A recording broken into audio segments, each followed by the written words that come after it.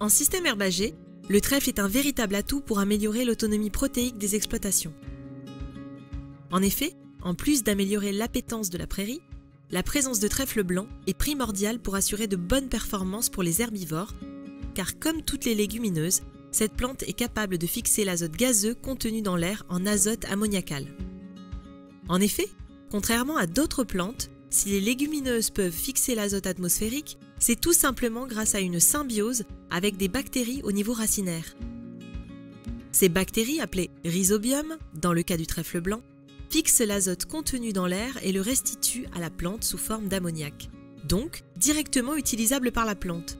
En contrepartie, le trèfle par la photosynthèse produit des molécules carbonées, dont une partie sera fournie aux bactéries qui en sont dépendantes. Ainsi, le couple trèfle blanc-bactérie peut fixer de 50 à 200 unités par hectare et par an. Maintenant, nous savons que le trèfle, ou du moins les légumineuses, sont indispensables pour fournir l'azote à la prairie, au sol et aux animaux. Mais comment s'assurer que cet écosystème fonctionne et soit autonome en azote? Pour cela, il est nécessaire de comprendre comment le trèfle se développe et quels éléments il doit trouver dans son environnement proche pour sa croissance. Lors de ses premières années de développement, 2 à 3 ans, le jeune trèfle se développe tout d'abord en rosette. Puis cette plante principale se ramifie de plusieurs stolons, ce que l'on appelle la phase d'expansion. Dans le sol, le système racinaire est composé d'une puissante racine pivot qui permet d'aller chercher les nutriments en profondeur. Quel est le pourcentage de nodosité à ce stade? Suite à ces X années de croissance, le trèfle peut alors pleinement exprimer son potentiel et multiplier les stolons produits. La racine pivot principale laisse alors place à un système important de racines adventives. Par ailleurs, le fonctionnement du trèfle dans les prairies varie très fortement en fonction de la saison. En hiver, on observe peu de trèfle dans les prairies car pour passer cette période de froid, les plantes s'enfouissent dans le sol sous forme de stolons.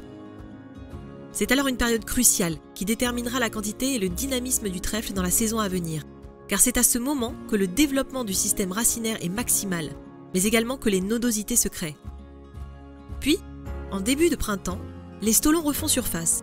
La partie aérienne se développe par des ramifications secondaires, puis les stolons principaux meurent. Commence alors la phase de croissance maximale de la plante sur la période estivale, où les ramifications grandissent et de nouvelles se créent. Des racines adventives superficielles se développent sur les stolons, et si les conditions météorologiques sont favorables, ces derniers vont s'enraciner au nœud pour créer de nouvelles plantes indépendantes. À la fin de l'automne, les plantes ainsi créées pendant la saison de pâturage vont s'enterrer pour l'hiver à l'aide des passages des animaux et des travailleurs du sol, pour recommencer ce cycle, de nouveau, au printemps suivant. Faut-il inclure les notions de photosynthèse et de lumière dès maintenant, plus la floraison?